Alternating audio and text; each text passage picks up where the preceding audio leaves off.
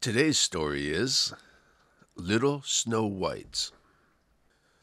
Once upon a time, in the middle of winter, when the flakes of snow were falling like feathers from the clouds, a queen sat at her palace window, which had an ebony black frame, stitching her husband's shirts. While she was thus engaged and looking out at the snow, she pricked her finger, and three drops of blood fell upon the snow.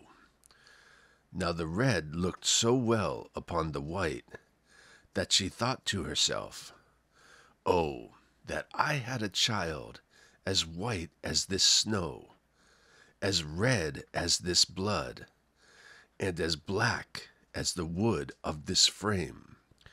Soon afterwards a little daughter came to her, who was as white as snow, and with cheeks as red as blood, and with hair as black as ebony, and from this she was named Snow White.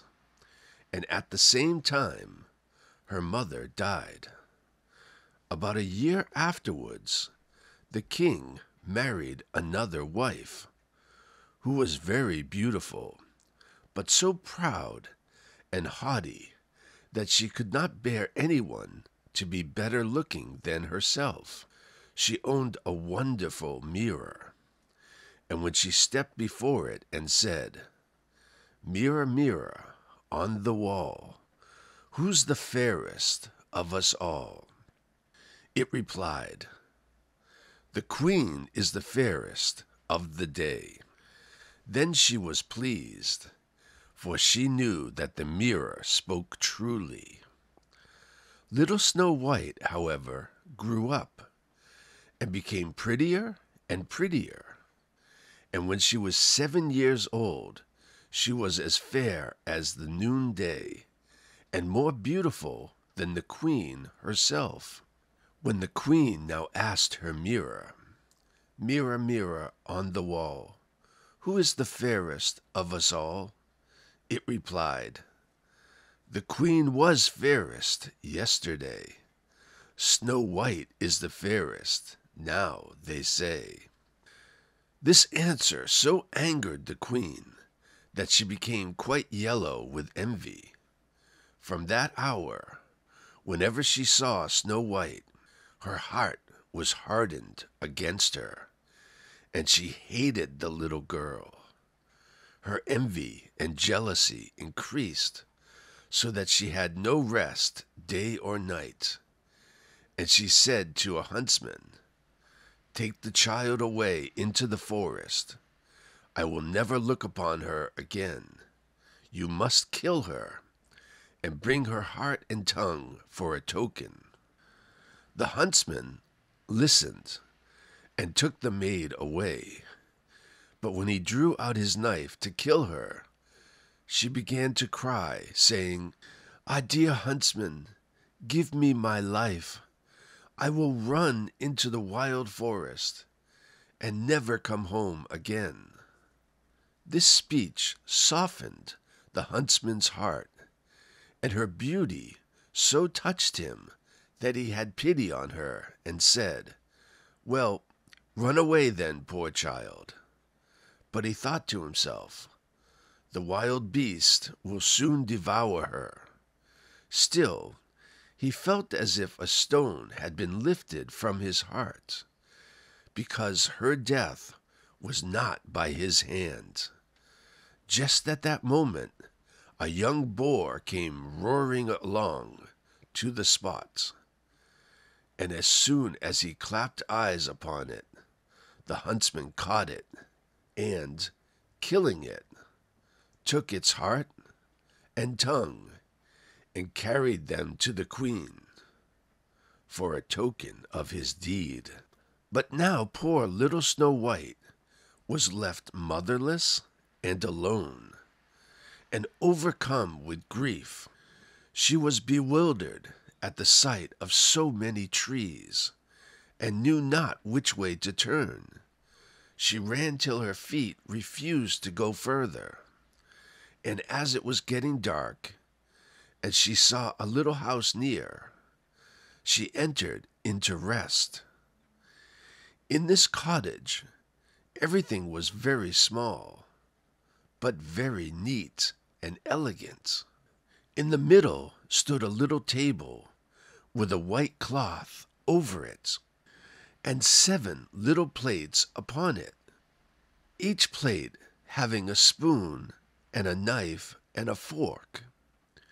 And there were also seven little mugs. Against the wall were seven little beds arranged in a row, each covered with snow white sheets. Little Snow White, being both hungry and thirsty, ate a little morsel of porridge out of each plate, and drank a drop or two of wine out of each mug, for she did not wish to take away the whole share of anyone. After that, because she was so tired, she laid herself down on one bed, but it did not suit. She tried another, but that was too long. A fourth was too short, a fifth too hard, but the seventh was just the thing, and tucking herself into it, she went to sleep, first saying her prayers as usual. When it became quite dark, the owners of the cottage came home. Seven dwarfs who dug for gold and silver in the mountains. They first lighted seven little lamps and saw at once, for they lit up the whole room, that somebody had been in, for everything was not in the order in which they had left it. The first asked, Who has been sitting on my chair? The second, Who has been eating off my plate? The third said, Who has been nibbling at my bread? The fourth, Who has been at my porridge? The fifth, Who has been meddling with my fork? The sixth grumbled out, Who has been cutting with my knife?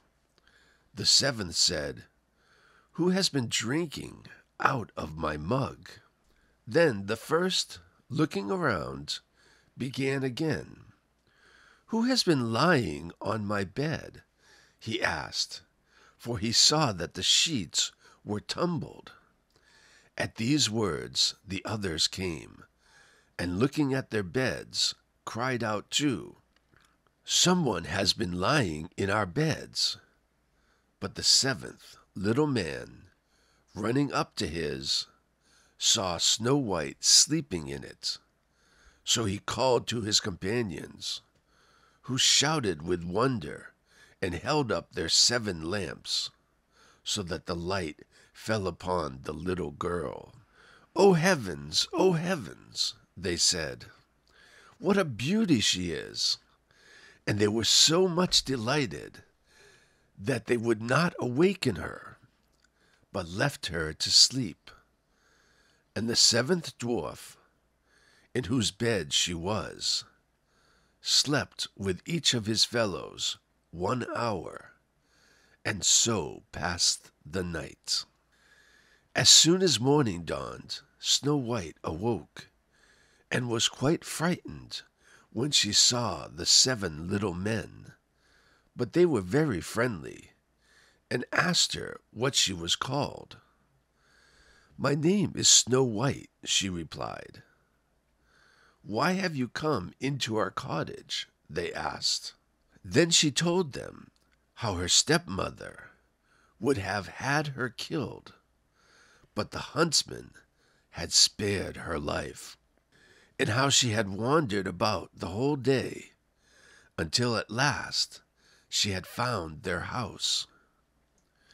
When her tale was finished, the dwarf said, Will you look after our household?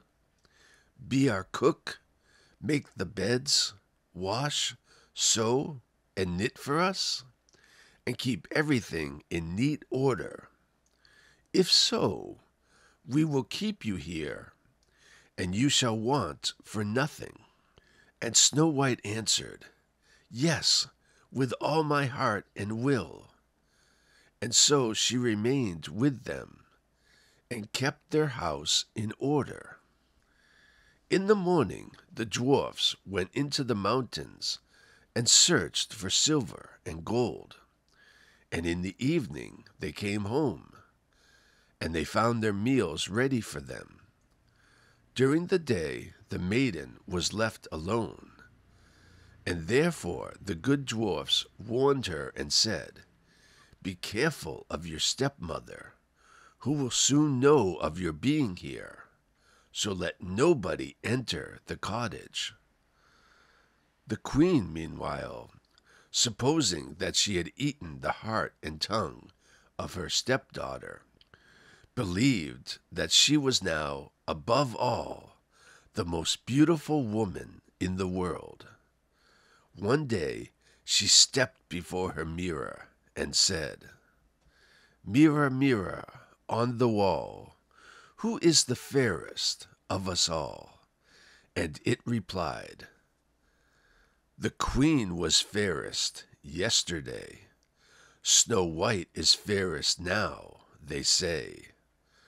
The dwarfs protect her from thy sway amid the forest far away. This reply surprised her, but she knew that the mirror spoke the truth. She knew, therefore, that the huntsman had deceived her, and that Snow White was still alive. So she dyed her hair and clothed herself as a peddler woman, so that no one could recognize her. And in this disguise she went over the seven hills to the house of the seven dwarfs she knocked at the door of the hut and called out, Fine goods for sale! Beautiful goods for sale! Snow White peeped out of the window and said, Good day, my good woman. What have you to sell? Fine goods, beautiful goods, she replied. Stays of all colors and she held up a pair, which were made of many colored silks. I may let in this honest woman, thought Snow White, and she unbolted the door and bargained for one pair of stays. You can't think, my dear, how they become you, exclaimed the old woman. Come, let me lace them up for you. Snow White suspected nothing, and let her do as she wished. But the old woman laced her up so quickly and so tightly that all her breath went, and she fell down like one dead. Now, thought the old woman to herself, hastening away, now I am once more the most beautiful of all.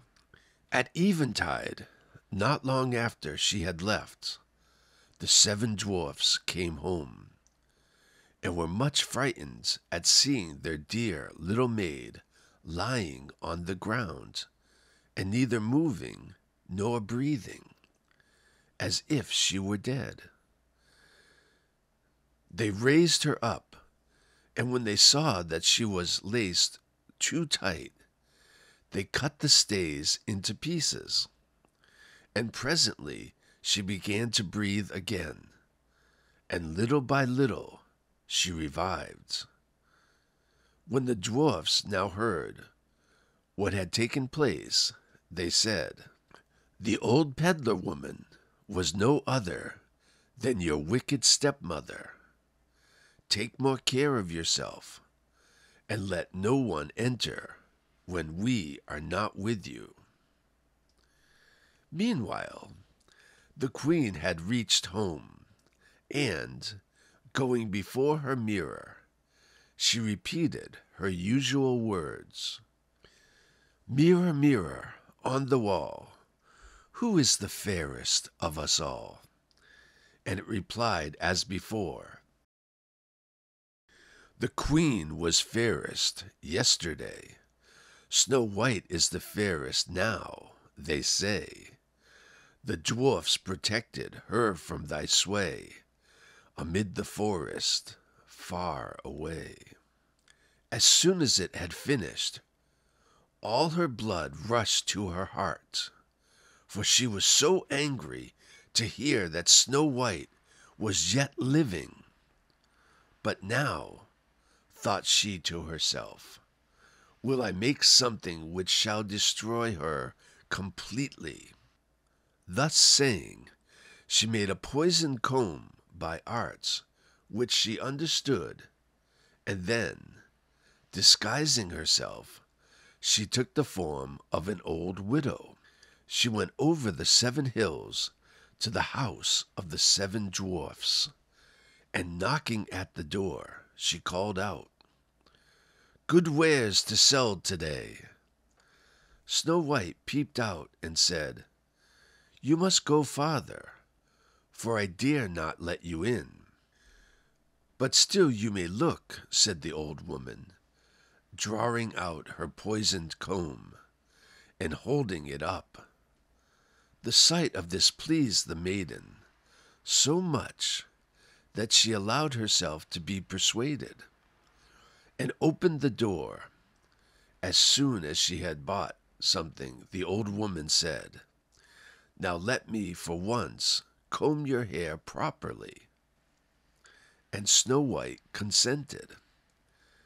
But scarcely was the comb drawn through the hair when the poison began to work, and the maiden fell down senseless.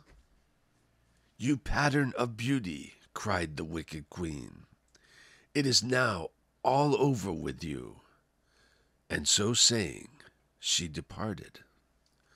Fortunately, evening soon came, and the seven dwarfs returned.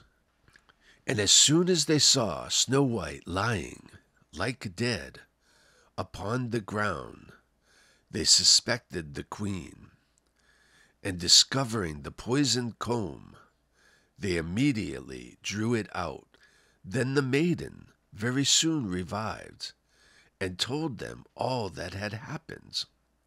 So again they warned her against the wicked stepmother and bade her open the door to nobody.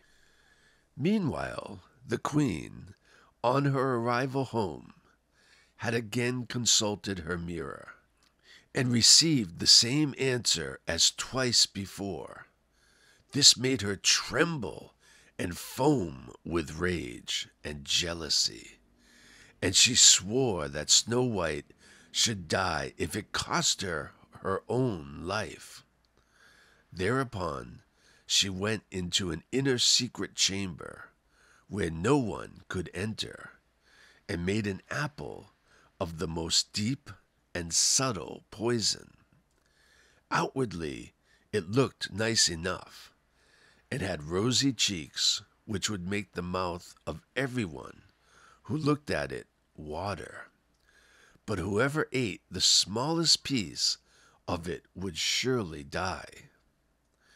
As soon as the apple was ready, the queen again dyed her face, and closed herself like a peasant's wife, and then over the seven mountains to the house of the seven dwarfs she made her way. She knocked at the door, and Snow White stretched out her head and said, I dare not let anyone enter the seven dwarfs have forbidden me. This is hard on me, said the old woman, for I must take back my apples. But there is one which I will give you. No, answered Snow White. No, I dare not take it. What are you afraid of? cried the old woman. There, see, I will cut the apple in halves. Do you eat the red cheeks? And I will eat the core. The apple was so artfully made that the red cheeks alone were poisoned. Snow White very much wished for the beautiful apple, and when she saw the woman eating the core, she could no longer resist, but, stretching out her hand, took the poisoned part. Scarcely had she placed a piece in her mouth when she fell down dead upon the ground.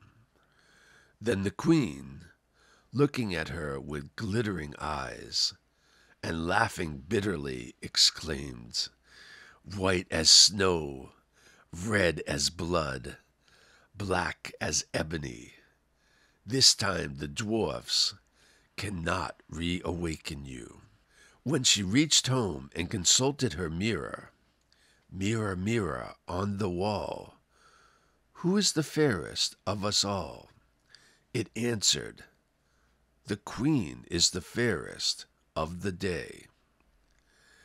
Then her envious heart was at rest, as peacefully as an envious heart can rest.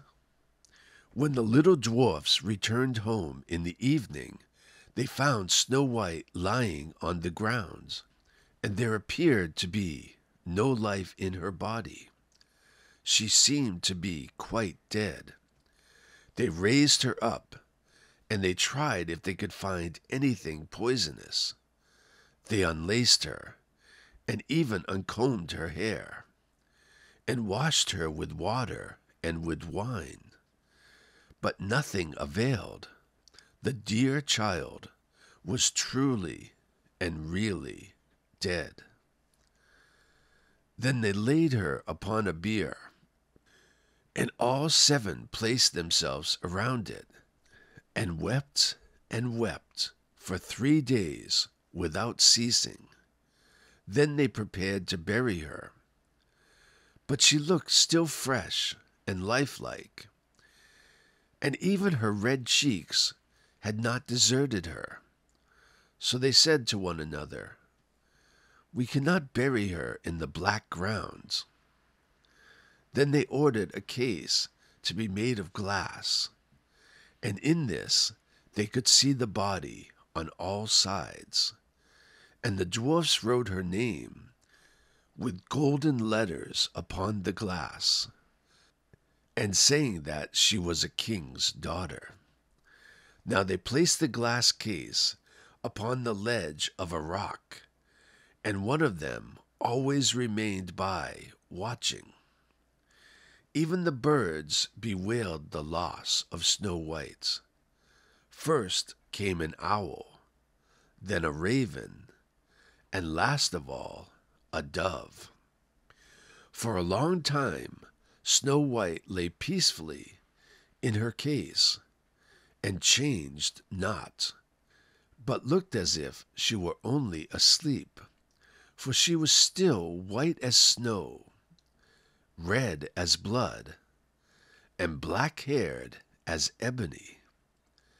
By and by it happened that a king's son was traveling in the forest and came to the dwarf's house to pass the night. He soon saw the glass case upon the rock and the beautiful maiden lying within, and he read also the golden inscription. When he had examined it, he said to the dwarfs, Let me have this case and I will pay you what you like for it. But the dwarfs replied, We will not sell it for all the gold in the world. Then give it to me, said the prince, for I cannot live without Snow White. I will honor and protect her as long as I live. When the dwarfs saw that he was so much in earnest, they pitied him and at last gave him the case. And the prince ordered it to be carried away on the shoulders of his attendants. Presently it happened that they stumbled over a rut, and with the shock, the piece of poison apple which lay in Snow White's mouth fell out.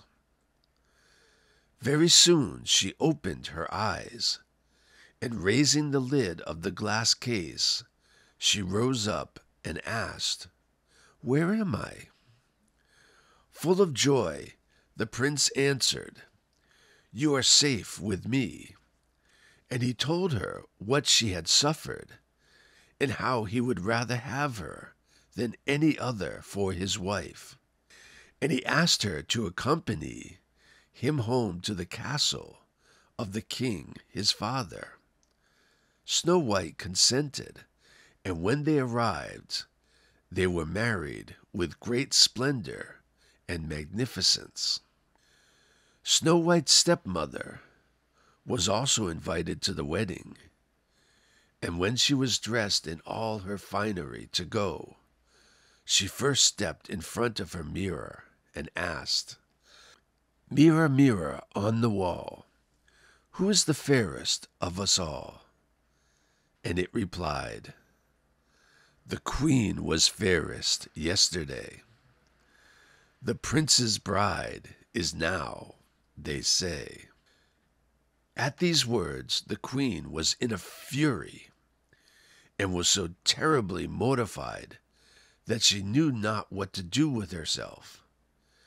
At first she resolved not to go to the wedding, but she could not resist the wish to see the princess.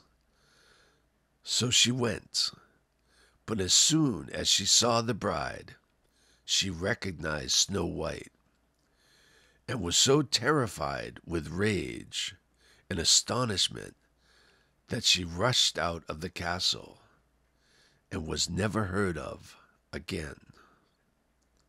The end.